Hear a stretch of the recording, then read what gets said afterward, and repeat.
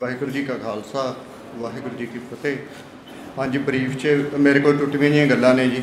ਪਹਿਲੀ ਚੀਜ਼ ਜਿਹੜੀ ਮੇਰੇ ਕੋਲ ਹੈਗੀ ਆ, ਆਪਾਂ ਜਿੰਨਾ ਨੈਸ਼ਨਲਿਜ਼ਮ ਲੱਭਣ ਦੀ ਹੁਣ ਉਰੇ ਕੋਸ਼ਿਸ਼ ਕੀਤੀ ਹੈ ਨਾ, ਜ਼ਿਆਦਾਤਰ ਅਸੀਂ ਵੈਸਟ ਵੱਲ ਭੱਜ ਗਏ ਆ ਅਸੀਂ ਸਾਰਾ ਕੁਝ ਐਲੀ ਕੁਡਰਾਈ ਨੇ ਕੀ ਕਿਹਾ ਐਂਡਰਸਨ ਕੀ ਕਹਿੰਦਾ, ਉਹ ਕੀ ਕਹਿੰਦਾ, ਸਾਡਾ ਨੈਸ਼ਨਲਿਜ਼ਮ ਸਾਨੂੰ ਯੂਰਪ ਚੋਂ ਨਹੀਂ ਲੱਭਣਾ।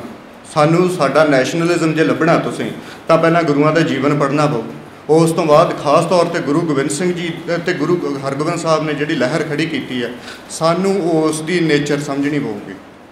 ਜੇ ਤੁਸੀਂ ਆਪਣਾ ਨੈਸ਼ਨਲਿਜ਼ਮ ਲੱਭਣਾ ਤਾਂ, ਅਸੀਂ ਵੈਸਟ ਤੇ ਜਾਂਦੇ ਆ ਅਸੀਂ ਉਧਰ ਭੱਜਦੇ ਆ ਉੱਥੋਂ ਸਾਨੂੰ ਸਾਡੇ ਨੈਸ਼ਨਲਿਜ਼ਮ ਦਾ ਕੁਝ ਨਹੀਂ ਪਤਾ ਲੱਗਣਾ। ਉਹ ਸਿਰਫ ਚੁੰਝ ਚਰਚਾ ਦੇ ਵਿਸ਼ੇ ਬਣ ਕੇ ਰਹਿ ਜਾਣਗੇ, ਇਸ ਤੋਂ ਬਿਨਾ ਸਾਡੇ ਪੱਲੇ ਕੁਝ ਨਹੀਂ ਪੈਣਾ। ਜੇ ਤੁਸੀਂ ਨੈਸ਼ਨਲਿਜ਼ਮ ਲੱਭਣਾ ਤਾਂ ਉਹਦੀ ਸ਼ੁਰੂਆਤ ਹੈ ਜਿਹੜੀ ਉਹ ਸਿੱਖ ਗੁਰੂਆਂ ਦੇ ਪਹਿਲੇ ਸਿਧਾਂਤਾਂ ਤੋਂ ਤੋਰਨੀ ਪਊਗੀ। ਤੇ ਜਿਹੜੀ ਨੈਸ਼ਨਲਿਜ਼ਮ ਸਹੀ ਜਿਹੜਾ ਸਿਰਜਿਆ, ਉਹ ਅਸੀਂ ਦੇਖਦੇ ਹਾਂ ਮਿਸਲ ਪੀਰੀਅਡ ਤੋਂ ਪਹਿਲਾਂ ਜਾਂ ਮਿਸਲ ਪੀਰੀਅਡ ਦੇ ਦੌਰਾਨ ਜਾਂ ਜ਼ਕਰੀਆ ਖਾਨ ਵੇਲੇ, ਉਸ ਵੇਲੇ ਜਿਹੜਾ ਉਹਨਾਂ ਨੇ ਆਪਣਾ ਜੀਵਨ ਸਿਰਜਿਆ, ਜੋ ਉਹਨਾਂ ਨੇ ਕਾਰਨਾਮੇ ਕੀਤੇ ਨੇ, ਉਹ ਸਾਡਾ ਸਿੱਖੀ ਦਾ ਅਸਲੀ ਨੈਸ਼ਨਲਿਜ਼ਮ ਹੈ। ਜਿੱਥੇ ਉਹਨਾਂ ਨੇ ਉਸ ਚੀਜ਼ ਨੂੰ ਕੌਮੀਅਤ 'ਚ ਨਹੀਂ ਪਾਇਆ, ਇੱਕ ਧਰਮ ਦੇ ਨਾਲ ਨਹੀਂ ਜੋੜਿਆ, ਵੀ ਜੇ ਕੋਈ ਮੁਸਲਮਾਨ ਮੂਹਰੇ ਆ ਗਿਆ ਤਾਂ ਮਾਰ ਦੋ, ਉਹਨਾਂ ਦੀ ਲੜਾਈ ਹੈ ਜਿਹੜੀ ਇੱਕ ਜਿਹੜਾ ਕਰਪਟ ਸਟੇਟ ਹੈ, ਜਿਹੜਾ ਕਿ ਬਹੁਤ ਜ਼ਾਲਮ ਆ, ਉਸ ਦੇ ਖਿਲਾਫ ਹੈ। ਸਾਨੂੰ ਉਸ ਦੀਆਂ ਤਹਾਂ ਫਰੋਲਣੀਆਂ ਪੈਣਗੀਆਂ, ਸਾਨੂੰ ਸਾਡਾ ਨੈਸ਼ਨਲਿਜ਼ਮ ਉੱਥੋਂ ਲੱਭਣਾ ਪਊਗਾ। ਇੱਕ ਗੱਲ ਮੈਂ ਹੋਰ ਕਹਿਣੀ ਚਾਹੁੰਦਾ ਜੇ ਇੱਕ ਪਹਿਲੀ ਗੱਲ ਤੁਰੀ ਸੀ, ਜਿਵੇਂ ਅਜਮੇਰ ਸਿੰਘ ਜੀ ਨੇ ਵੀ ਕਿਹਾ ਵੀ ਸਾਨੂੰ ਭਿੰਡਰਾਂ ਵਾਲੇ ਸੰਤਾਂ ਨੂੰ ਜੀ ਅਸੀਂ ਇੱਕ ਰਾਖਸ਼ ਬਣਾਤਾ, ਉਹਨਾਂ ਨੂੰ ਅਸੀਂ ਦੂਜਿਆਂ ਨੂੰ ਅਸੀਂ ਇੱਕ ਦੇਵਤੇ ਬਣਾਤਾ। ਉਹਦੀ ਸਾਰੀ ਚੀਜ਼ ਹੈ ਨਾ ਜਿਹੜੀ ਬੰਦੇ, ਬੰਦਾ ਜਦੋਂ ਫੈਸਲਾ ਕਰਦਾ ਗੁੱਡ ਔਰ ਬੈਡ ਦਾ, ਉਹਦੀ ਮੋਰਲ ਬੇਸਿਸ ਹੁੰਦੇ ਨੇ, ਉਹ ਮੋਰੈਲਿਟੀ ਕਿੱਥੋਂ ਲੈਂਦਾ? ਬਸ ਇੱਥੇ ਹੀ ਫ਼ਰਕ ਪੈ ਗਿਆ, ਅਸੀਂ ਸਾਰੀ ਮੋਰੈਲਿਟੀ ਜਦੋਂ ਗੁੱਡ ਐਂਡ ਬੈਡ ਦਾ ਫੈਸਲਾ ਕਰਦੇ ਹਾਂ, ਇੰਡੀਅਨ ਕਨਸਟੀਟਿਊਸ਼ਨ ਤੋਂ ਲੈਂਦੇ ਹਾਂ। ਸਾਡੇ ਕੋਲ ਇੰਡੀਅਨ ਕਨਸਟੀਟਿਊਸ਼ਨ ਦੀ ਇੱਕ ਸਾਨੂੰ ਪ੍ਰਿਜ਼ਮ ਦੇਤੀ। ਜੇ ਕਿ ਸਾਰਿਆਂ ਨੇ ਸਾਇੰਸ ਦਾ ਤਜਰਬਾ ਉਹ ਕੀਤਾ ਹੋਣਾ, ਉਹ ਦੋ ਪੈਨ, ਚਾਰ ਪੈਨ ਕਦੇ ਵੀ ਲਾਈਨ ਉਹਨਾਂ ਦੇ ਵਿੱਚ ਆਪਸ 'ਚ ਸਿੱਧੀ ਨਹੀਂ ਹੁੰਦੀ, ਪਰ ਜਦੋਂ ਵਿਚਾਲੇ ਪ੍ਰਿਜ਼ਮ ਰੱਖ ਲੈਂਦੇ ਆ ਤਾਂ ਉਹ ਸਿੱਧੀ ਹੋ ਜਾਂਦੀ ਆ। ਉਹ ਸਾਨੂੰ ਇੰਡੀਅਨ ਕਨਸਟੀਟਿਊਸ਼ਨ ਦੀ ਪ੍ਰਿਜ਼ਮ ਦਿੱਤੀ ਹੋਈ ਆ। ਉਹ ਲਾਈਨਾਂ ਤਾਂ ਕਿਤੇ ਨਹੀਂ, ਸਾਡੇ ਪੱਖ 'ਚ ਵੀ ਕਿਤੇ ਨਹੀਂ ਭੁਗਤਦੀਆਂ, ਪਰ ਜਦੋਂ ਉਸ ਕਨਸਟੀਟਿਊਸ਼ਨ ਨੂੰ ਵਿੱਚ ਰੱਖ ਲੈਂਦੇ ਹੋ, ਪ੍ਰਿਜ਼ਮ ਤਾਂ ਸਾਨੂੰ ਸਿੱਧੀਆਂ ਦਿਸਣ ਲੱਗ ਪੈਂਦੀਆਂ ਨੇ। ਬਸ ਇੱਥੇ ਇੱਕ ਉਹ ਸਮਝਣ ਵਾਲੀ ਚੀਜ਼ ਇਹ ਸੀ। ਇੱਕ ਅਗਲੀ ਚੀਜ਼ ਇਹ ਹੈ ਕਿ ਜਿਹੜਾ ਸਾਡੇ ਕਨਸਟੀਟਿਊਸ਼ਨ ਆ, ਉਹਦੀ ਬੇਸਿਕ ਨੇਚਰ ਦੇ ਵਿੱਚ ਕਈ ਚੀਜ਼ ਪਈ ਆ, ਸਾਨੂੰ ਇਹ ਵੀ ਚੀਜ਼ ਸਮਝਣੀ ਪਊਗੀ ਕਿ ਇੱਥੇ ਜਿਹੜੀ ਮਰਜ਼ੀ ਪੋਲੀਟੀਕਲ ਪਾਰਟੀ ਦਾ ਰਾਜ ਹੋਵੇ, ਉਹ ਦੋ ਤਰ੍ਹਾਂ ਦੀਆਂ ਪੋਲੀਟੀਕਲ ਪਾਰਟੀਆਂ ਹੀ ਚੱਲਣਗੀਆਂ ਇੱਥੇ, ਜਿਹੜੀਆਂ ਨੈਸ਼ਨਲ ਲੈਵਲ ਤੇ ਵਿਚਰਨਗੀਆਂ। ਉਹਨਾਂ ਦੇ ਵਿੱਚ ਦੋਨੇ ਪਾਰਟੀਆਂ ਉਹ ਫੰਡਾਮੈਂਟਲਿਸਟ ਹੋਣਗੀਆਂ। ਇਹ 'ਚ ਕੋਈ ਸ਼ੱਕ ਨਹੀਂ ਕੀਤਾ ਜਾ ਸਕਦਾ। ਜੇ ਕਰੋਗੇ ਤਾਂ ਤੁਸੀਂ ਮੂਰਖ ਹੋ। ਦੋ ਕਿਸਮਾਂ ਦਾ ਫੰਡਾਮੈਂਟਲਿਜ਼ਮ ਹੁੰਦਾ। ਇੱਕ ਜੈਨਰਿਕ ਹੁੰਦਾ ਤੇ ਇੱਕ ਹਿਸਟੋਰਿਕ ਹੁੰਦਾ। ਜਦੋਂ ਤੁਸੀਂ ਕਾਂਗਰਸ ਨੂੰ ਬੀਜੇਪੀ ਨਾਲ ਜੋੜਦੇ ਹੋ, ਉੱਥੇ ਹੀ ਗੱਲ ਸਾਫ਼ ਹੋ ਜਾਂਦੀ ਹੈ। ਇਸੇ ਤਰ੍ਹਾਂ ਦੀਆਂ ਪਾਰਟੀਆਂ ਆਉਣਗੀਆਂ। ਹਿਸਟੋਰਿਕ ਫੰਡਾਮੈਂਟਲਿਜ਼ਮ ਉਹ ਹੁੰਦਾ ਜਿਹੜਾ ਸਮੇਂ ਨਾਲ ਆਈਆਂ ਤਬਦੀਲੀਆਂ ਨੂੰ ਕੁਝ ਹੱਦ ਤੱਕ ਅਪਣਾਉਣ ਦੇ ਪੱਖ ਵਿੱਚ ਹੁੰਦਾ। ਉਹ ਕਾਂਗਰਸ ਕਰਦੀ ਰਹੀ ਆ ਹੁਣ ਤੱਕ ਤੇ ਉਸ ਦਾ ਫਾਇਦਾ ਲੈ ਕੇ ਉਹ ਜਿੱਤਦੀ ਵੀ ਰਹੀ ਆ। ਤੇ ਬੀਜੇਪੀ ਆ ਜਿਹੜੀ ਜੈਨਰਿਕ ਫੰਡਾਮੈਂਟਲਿਜ਼ਮ ਤੇ ਖੜੀ ਆ ਵੀ ਜਿਵੇਂ ਪਹਿਲਾਂ ਸੀ ਪਿੱਛੇ ਸੀ, ਉਹਦੇ ਚ ਬਿਨਾਂ ਕੋਈ ਤਬਦੀਲੀ ਕੀਤੇ ਉਸੇ ਤਰ੍ਹਾਂ ਦੀ ਪਿਛਲਾ ਸੀ ਰਾਮ ਰਾਜ ਲੈ ਆਈਏ।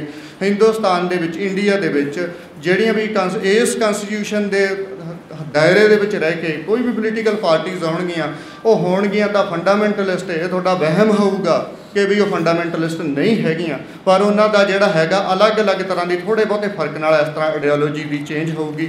ਬਾਕੀ ਇੱਕ ਦੋ ਗੱਲਾਂ ਜਿਹੜੀਆਂ ਬੇਸਿਕ ਚੀਜ਼ ਤੋਂ ਰਹਿ ਗਈਆਂ, ਆਪਾਂ ਹੋਰ ਪਾਸੇ ਤਾਂ ਚਲੇ ਗਏ, ਇੱਕ ਤਾਂ ਸਾਤੋਂ ਨੇਸ਼ਨ ਨਹੀਂ ਡਿਫਾਈਨ ਹੋਈ, ਉਸੇ ਕਰਕੇ ਸਾਡੇ ਤੋਂ ਨੈਸ਼ਨਲਿਜ਼ਮ ਨਹੀਂ ਡਿਫਾਈਨ ਹੋਇਆ। ਨੇਸ਼ਨ ਹੈ ਜਿਹੜੀ ਨੇਸ਼ਨ ਇੱਕ ਕੌਮ ਕੌਮ ਦੀ ਸੁਰਜਣ, ਸਿਰਜਣਾ ਆ ਜਿਹੜੀ, ਉਹ ਕੋਈ ਜ਼ਰੂਰੀ ਨਹੀਂ ਅਲੱਗ-ਅਲੱਗ ਪੱਖਾਂ ਤੋਂ ਤੁਹਾਡਾ ਦੇਖਣ ਦਾ ਨਜ਼ਰੀਆ ਕਿ ਕਿਵੇਂ ਦੇਖਦੇ ਹੋ? ਜੇ ਤੁਸੀਂ ਕਹਿੰਦੇ ਹੋ ਹਿੰਦੁਸਤਾਨੀ ਕੌਮ ਜੇ ਤੁਸੀਂ ਹਿੰਦੁਸਤਾਨ 'ਚ ਰਹਿੰਦੇ, ਤੁਹਾਡਾ, ਤੁਹਾਨੂੰ ਕੋਈ ਇਤਰਾਜ਼ ਨਹੀਂ, ਜਿਹੜਾ ਮਰਜ਼ੀ ਤੁਹਾਡਾ ਧਰਮ ਹੋਵੇ, ਤਾਂ ਤੁਸੀਂ ਹਿੰਦੁਸਤਾਨੀ ਕੌਮ ਦੇ ਵਿੱਚ ਆ ਜਾਂਦੇ ਹੋ। ਤੁਸੀਂ ਉਸ ਕੌਮ ਨੂੰ ਕਿਸ ਤਰ੍ਹਾਂ ਮੰਨਦੇ ਹੋ? ਕਿਸ, ਉਹਦਾ ਆਧਾਰ ਧਰਮ ਮੰਨਦੇ ਹੋ? ਉਹਦਾ ਆਧਾਰ ਜਿਹੜਾ ਹੈਗਾ ਜ਼ਬਾਨ ਮੰਨਦੇ ਹੋ? ਉਹਦਾ ਆਧਾਰ ਹੈ ਜਿਹੜਾ ਇੱਕ ਜ਼ਮੀਨ ਮੰਨਦੇ ਹੋ? ਕੋਈ ਵੀ ਨੈਸ਼ਨਲਿਜ਼ਮ ਦੁਨੀਆ ਤੇ ਤਿੰਨ ਚੀਜ਼ਾਂ ਤੇ ਹੀ ਆ ਕੇ ਟਿਕਦਾ। ਤਿੰਨ ਚੀਜ਼ਾਂ ਹੁੰਦੀਆਂ ਨੇ ਨੈਸ਼ਨਲਿਜ਼ਮ ਦਾ ਆਧਾਰ। ਇੱਕ ਹੁੰਦੀ ਹੈ ਜ਼ਮੀਨ, ਟੈਰੀਟਰੀ, ਦੂਜੀ ਹੁੰਦੀ ਹੈ ਲੈਂਗੁਏਜ, ਤੀਜਾ ਜਿਹੜਾ ਹੁੰਦਾ ਰਿਲੀਜਨ ਹੁੰਦਾ।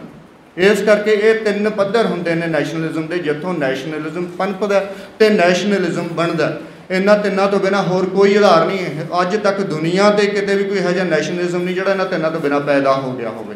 ਇਹ ਤਿੰਨ ਆਧਾਰਾਂ ਤੋਂ ਜਿਹੜੀ ਸਾਡੀ ਹੋ ਜਿਵੇਂ ਕਿ ਐਂਡਰਸਨ ਨੇ ਕਿਹਾ, ਬੈਂਡਿਕਟ ਐਂਡਰਸਨ ਨੇ, ਕਿ ਜੀ ਇਹ ਕੰਸਟਰਕਟਡ ਹੁੰਦਾ, ਜਾਂ ਦੂਜੇ ਨੇ ਐਲੀਕੋਡਰੀ ਦਾ ਥਿਊਰੀ ਹੈ, ਜਿਵੇਂ ਪਹਿਲਾਂ ਜਗਪਾਲ ਸਿੰਘ ਜੀ ਨੇ ਵੀ ਗੱਲ ਕੀਤੀ ਹੈ ਵੀ ਇਹ ਜੀ ਜਿਹੜਾ ਹੈਗਾ ਵੈਸਟ ਛੱਡ ਗਿਆ, ਇਸ ਤਰ੍ਹਾਂ ਨਹੀਂ ਹੁੰਦਾ। ਕੁਛ ਨਾ ਕੁਛ ਰੀਅਲ ਫੈਕਟ ਹੁੰਦੇ ਨੇ, ਕੁਛ ਨਾ ਕੁਛ ਕੌਮਾਂ ਦੀ ਸਚਾਈ ਹੁੰਦੀ ਆ ਉਦੋਂ ਹੀ ਨੈਸ਼ਨਲਿਜ਼ਮ ਉਪਜਦਾ। ਬਿਨਾਂ ਸਚਾਈ ਤੋਂ ਜਦੋਂ ਨੈਸ਼ਨਲਿਜ਼ਮ ਉਪਜਦਾ, ਜਿਵੇਂ ਹਰਵਿੰਦ ਅਰਬਿੰਦੋ ਘੋਸ਼ ਦੀ ਗੱਲ ਕੀਤੀ ਆ, ਅਜਮੇਰ ਸਿੰਘ ਨੇ, ਮੈਂ ਇੱਕ ਇੱਥੇ ਫੈਕਟ ਐਡ ਕਰਦਾ ਕਿ 1900 ਤੋਂ ਲੈ ਕੇ 1908 ਤੱਕ ਅਰਵਿੰਦੋ ਘੋਸ਼ ਬੜਾ ਆਪਦੇ ਆਪ ਨੂੰ ਜੁਝਾਰੂ ਸਾਬਤ ਕਰਦਾ। 1908 ਦੇ ਵਿੱਚ ਉਹਦੇ ਇੱਕ ਛੋਟਾ ਜਿਹਾ ਕੇਸ ਪੈਂਦਾ, ਉਹਦਾ ਬ੍ਰਦਰ ਉਹਦੇ ਵਿੱਚ ਫਸਦਾ ਤੇ 1908 ਦੇ ਵਿੱਚ ਉਹ ਮਾਫੀ ਮੰਗ ਕੇ ਸੰਨਿਆਸ ਲੈ ਕੇ ਹੀ ਭੱਜ ਲੈਂਦਾ। ਜਿਹੜੀ ਨੈਸ਼ਨਲਿਜ਼ਮ ਦੇ ਪਿੱਛੇ ਕੋਈ ਬੁਨਿਆਦ ਜਾਂ ਕੋਈ ਟ੍ਰੈਡੀਸ਼ਨ ਜਾਂ ਕੋਈ ਰਵਾਇਤ ਨਹੀਂ ਹੁੰਦੀ, ਉਹ ਨੈਸ਼ਨਲਿਜ਼ਮ ਦੀਆਂ ਜੜ੍ਹਾਂ ਬੜੀਆਂ ਹੋਛੀਆਂ ਤੇ ਉਪਰੀਆਂ ਹੁੰਦੀਆਂ ਨੇ। ਕੁਝ ਸਮੇਂ ਵਾਸਤੇ ਤਾਂ ਇੱਕ ਆਮ ਅਨਪੜ੍ਹ ਸਾਧ ਵੀ ਕੁਝ ਨੈਸ਼ਨਲਿਜ਼ਮ ਖੜਾ ਕਰ ਲੈਂਦਾ, ਕਿਸੇ ਚੀਜ਼ ਨੂੰ ਕਿਸੇ ਲੜਾਉਣ ਵਾਸਤੇ, ਪਰ ਉਹਦੀਆਂ ਜੜ੍ਹਾਂ ਬੜੀਆਂ ਹੋਛੀਆਂ ਤੇ ਉਪਰੀਆਂ ਹੁੰਦੀਆਂ ਨੇ। ਮਿਹਰਬਾਨੀ